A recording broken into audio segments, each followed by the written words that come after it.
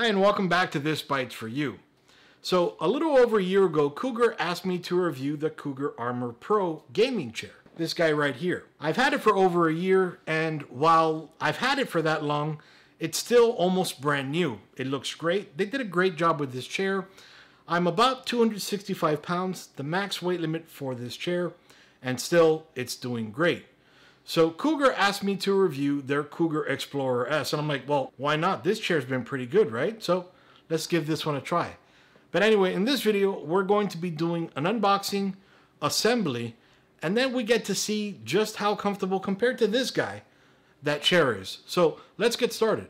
All right, so to start off with, we have the box. This box has been put through some torture. So here's one side, and the other side Hopefully nothing fell out of the box, but we'll see. This side doesn't look too bad, and this side looks okay. So problem is, you can see that it comes wide open now. Mind you, did have straps on it, so pretty sure no one's gone in there. But anyway, let's check it out inside. All right, so I don't have a whole lot of space to work with, so I had to move some things around. I wanted to give you an angle so you could see, while we're opening it, what I see just how bad potentially the chair was damaged. And then if anything, to give you an inventory, foam, the backing, and I'll go over more of an inventory in a minute.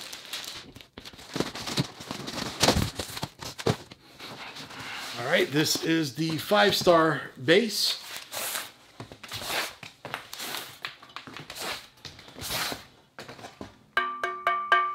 Feels nice and sturdy.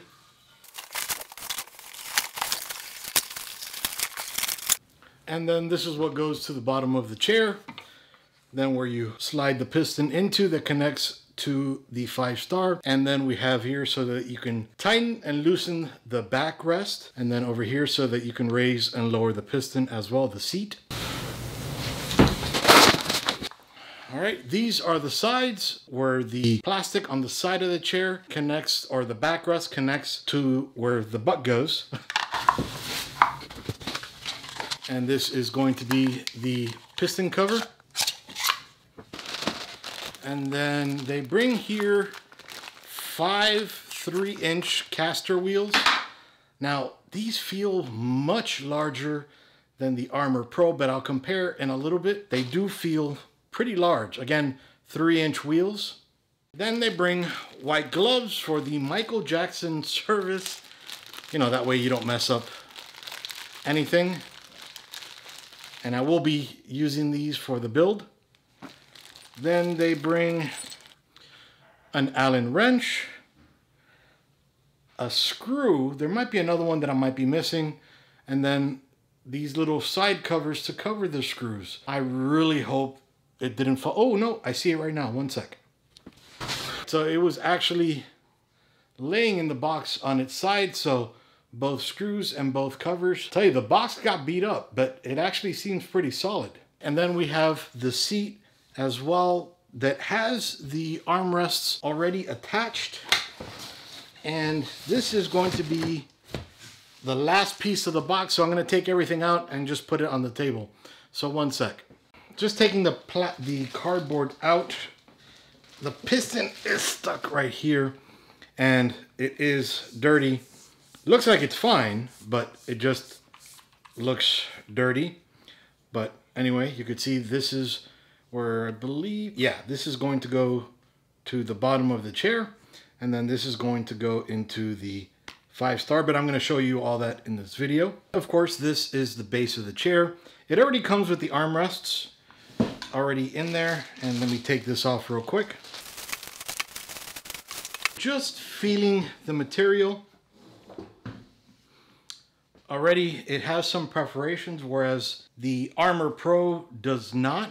All right, so zooming out here, you can see the little perforations. Now that might be great so that you don't sweat on this chair. All right, so then we have out here along the sides where it comes up a little bit where you have your thighs on the outside of the chair. Now, as I mentioned before, it does come with the armrest already on here, whereas the Cougar Pro, you had to put it on there on your own. Not a bad thing, just they've already done that for you. So this allows you to turn it this way and then go forwards and backwards. And then also height adjustment as well. So they call it the 3D armrest. Over here is where it attaches to the side of the chair. So not much of an inventory. We've already gone over everything doing the unboxing. And I almost forgot the backrest. So here we'll just take this apart. It also comes with that pattern as well. And then getting closer, which we'll do in a second, it's also perforated right along here. It comes already attached with the headrest and the lower lumbar pillows, though of course you can remove them if you'd like. And then of course the Cougar embroidery along the front and the back as well. Then the back, pretty average. It does come with zippers along here as well so that if you wanted to take out some cushion or put some back in, you could. And then to get rid of these pillows, that's it. And they just fall right off. So, pillows, this PVC leather kind of material. Also so that you can take out or put some more foam in as you'd like. Kind of a nice feature, I think. If you don't like how cushy it is, take some out. If you want it to be extra cushy, you can put some in. And then the lower lumbar pillow. Rather than zippers, this has velcroed kind of in there. And then the pads right, and let me zoom you in for that perforation. So nothing special right along here. Kind of the same thing we saw before, but I just wanted to show it to you. So let's put it together real quick. So I have the gloves on they want you to use. They're very cheap gloves, one-time use. But you can't go dancing with them. But anyway, uh, they don't include instructions, but don't worry. I've gone over this a thousand times before. I'll show you how to do that real quick. So first thing we're going to want to do is put on these casters. So just literally push them in. They're, they're not going to be that difficult to get in.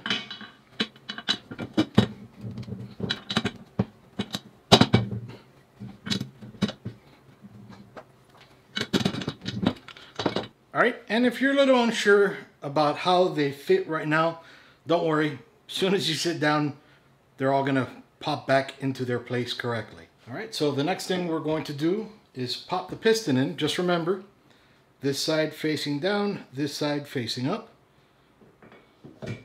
Easy enough, right? Then we're gonna put the covers. That way you guys don't hurt yourselves. Children, adults, we all wanna play with things. Don't. All right, so for right now, let's put this aside and move on to the next. The next step is to put this piece on the bottom of the chair. This piece is what's going to connect the piston, the bottom of the chair, the five star, to this here. So what we're going to need to do first is remove these screws. So we'd need the Allen wrench for that.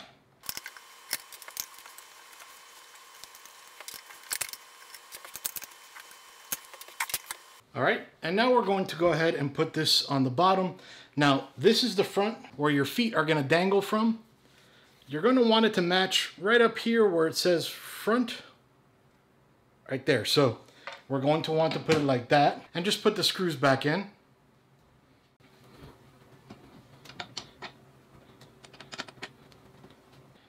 Now, these screws are really tight to remove and to even put back in. So you're not going to go anywhere when these are screwed in.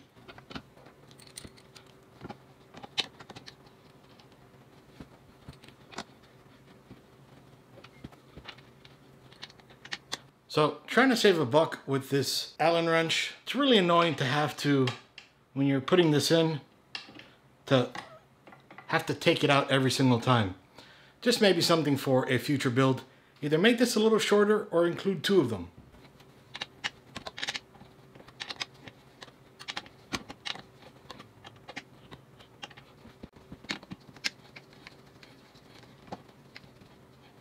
These are a lifesaver to have.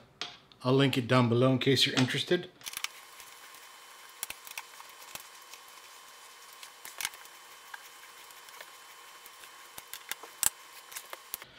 All right, so now we're going to go ahead and put the back on the chair. So I'm gonna go ahead and flip this over.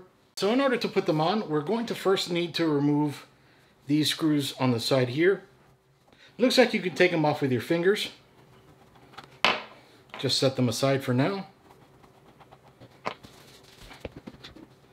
Okay, it looks like on one side you can do it, not both.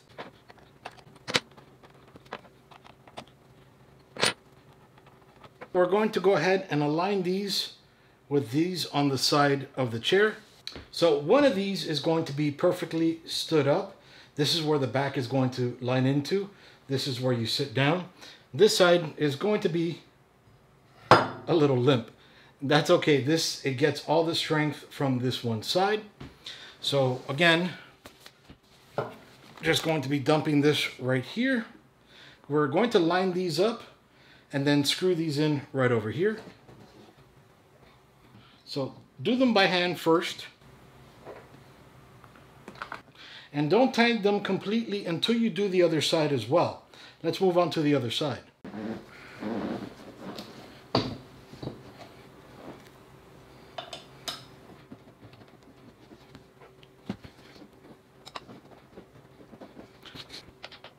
Now at this point, we can just go ahead and tighten them all. So you're going to run into this every once in a while. So if you do have an extra one, might be best to use it. Trying not to, but now we'll do the other side.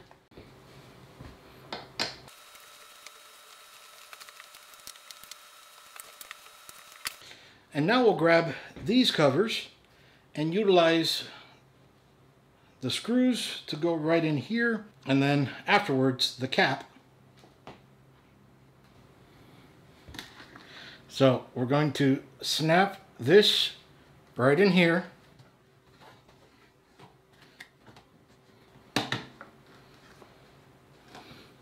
Okay, and that snaps in pretty easy. Now we just need to screw this in over here.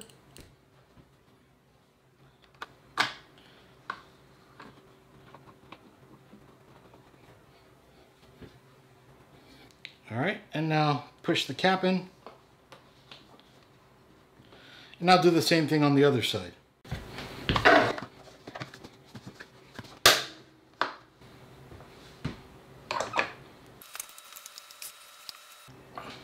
And like we did before, pop that in.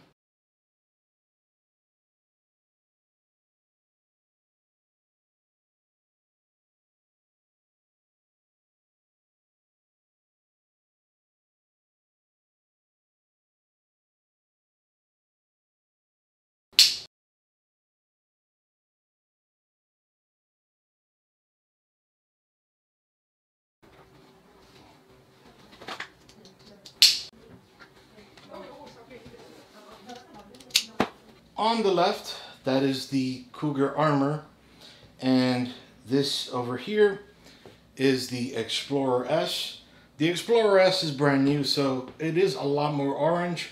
Though I don't remember the Armor Pro being a lot more orange, but anyway, let's just say age. So the back on the Pro seems a lot wider than the Explorer S. Notice here it is just solid PVC leather over here. While over here is the perforated PVC leather. So notice here how the chair kind of curves into the back. The bucket seat kind of, so you can see exactly what I was talking about before, that it's not just flat. You can see the curve. Now on the Cougar Armor Pro, you can see how it's just a slab. it's flat. There's no curves. It, it, it's just flat. Along the back is the same on the Armor Pro. Looks very similar compared to the Explorer. The Explorer hugs you a little bit more since it's not as wide. They both have the 3 inch wheels and they both have the rocking mechanism to tighten and to loosen it. You'll notice they both have the same type of 3D armrest. On the Armor Pro, again, I just, I've had my entire family sit on it, not all at once, but there's a huge, tremendous difference. Again, now my feet are totally flat, whereas on the Explorer S, my legs would be a little bit more elevated right now. There's that little bump. This one, you cannot, even if you loosen it, you cannot rock back and forward. You can, of course, slide back and lay it back, but you cannot rock back and forward. On the Explorer S, if you wanted to, you can rock back and forward. And I loosened it, you can tighten it, you know, you can make it so that it's a lot more difficult to rock back and forward. Now mind you, it's not as easy as a rocking chair. You do have to push back a little bit more, but still you can actually rock back and forward. The Armor Pro you couldn't. Now another thing is on the Armor Pro, I couldn't sit like this. I like to sit like this on the Explorer S, I can. So the Cougar Explorer S, I've been using it now for about two days, three hours yesterday and about three hours this morning. So not two days really, but over the course of two days. And I found it so much more comfortable than the Armor Pro. The Armor Pro, about 30 minutes and I'd have to stand up because my butt was hurting. This one, I only stood up to go to sleep last night and then this morning to either go get some breakfast or whatever it was. But both times I was editing for about three hours at a time. The wheels or casters, same size. The PVC leather is the same material, but the Explorer has it perforated. I don't know if there's a big difference there, but you've seen now the difference between the chair flat versus the bucket seat I was mentioning before. And the width of the back, I don't know if that makes a big difference, but still the Explorer S is so much more comfortable. Now, with that comfort and actually with the ability to rock back and forward that the Armor Pro doesn't have, about a $100 difference. Let me know down below, would you pay a $100 more for extra comfort, the ability to rock back and forward, the ability to sit crisscross like I was sitting. I love sitting like that. Or would you prefer to be less comfortable? To me, it's more comfort than all the other three or all the other two. I like the Explorer S a lot more. Awesome job, Cougar. So let me know again down below what you guys think. As always, please do click like and subscribe. It helps me out a ton. And any comments or concerns or questions you may have about the Explorer or anything, please leave them down below. I respond to everything. All right, my friends, Iggy with This bite for you up. See you guys.